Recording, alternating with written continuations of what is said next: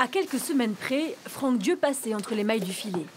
Mais ce jardinier de la mairie de Montreuil aura 60 ans après l'entrée en vigueur de la réforme. Mauvaise nouvelle, lui qui devait partir à la retraite en novembre partira finalement six mois plus tard, en mai.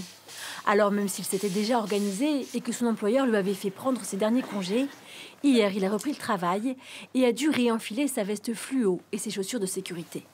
Moi, je partais en Bretagne, hein, donc j'étais en Bretagne. Là. Nous demander de reprendre quand on est vraiment en fin de carrière comme ça, euh, c'est pas très humain, je trouve. Car c'est aujourd'hui qu'entre en vigueur la réforme des retraites. Elle concerne les personnes nées à partir du 1er septembre 1961 et prévoit de retarder progressivement l'âge de départ de 62 à 64 ans à raison de 3 mois de plus par an. Pour les personnes ayant commencé à travailler tôt, la réforme prévoit un dispositif carrière longue, des départs dès 58 ans pour un début de carrière avant 16 ans, 60 ans avant 18 ans, mais à une condition, avoir cotisé 44 ans. Toujours en France.